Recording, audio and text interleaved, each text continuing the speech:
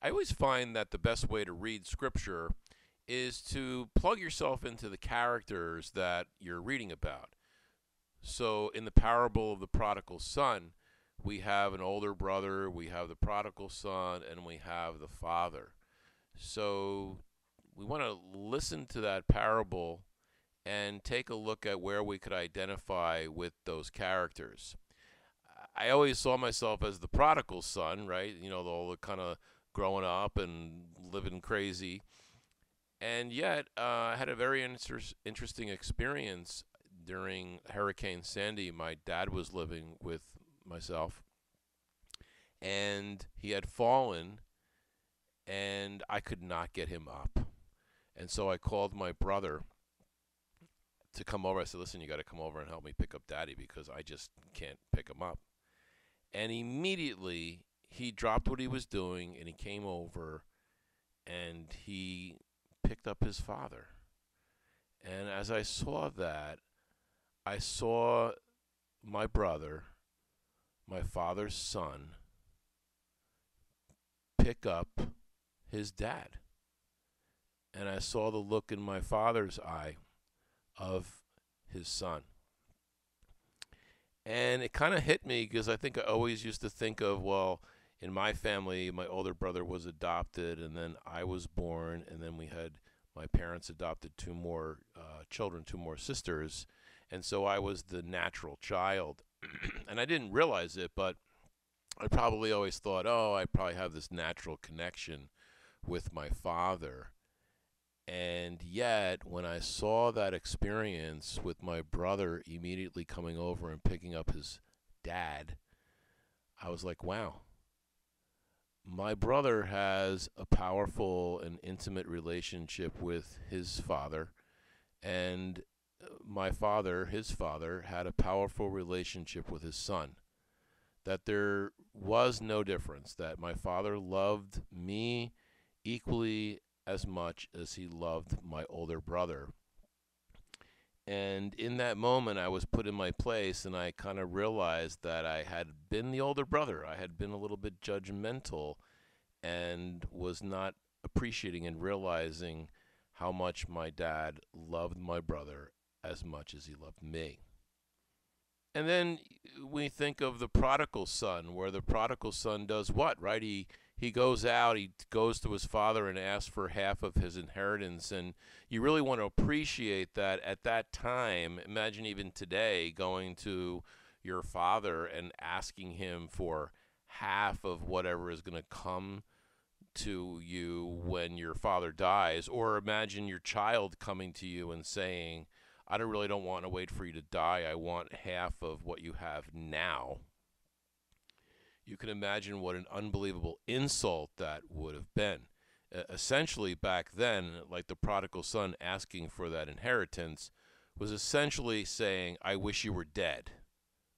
I wish you were dead to his father. And yet, the father who loves as love does has no other choice but to grant freedom and to grant his son what he wants. And so he gives him this money and he goes off, and we know the story where he spends all of his money on wine, women, and song. And winds up broke. He has nothing.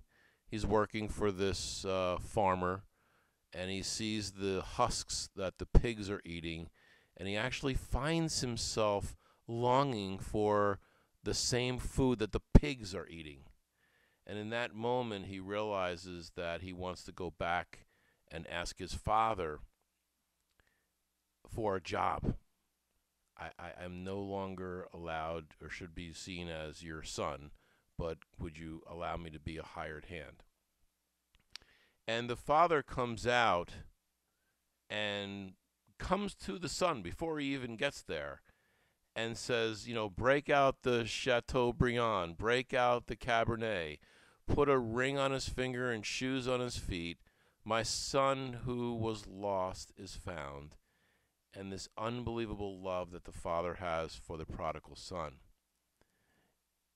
Now, the question is where are you the prodigal son?